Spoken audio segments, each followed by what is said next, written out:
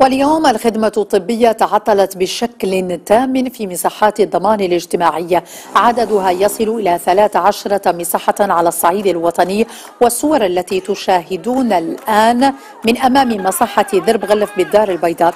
مساحة فارغة تماما من الأطباء والممرضين والمستخدمين وقفوا في هذه الوقفة الاحتجاجية.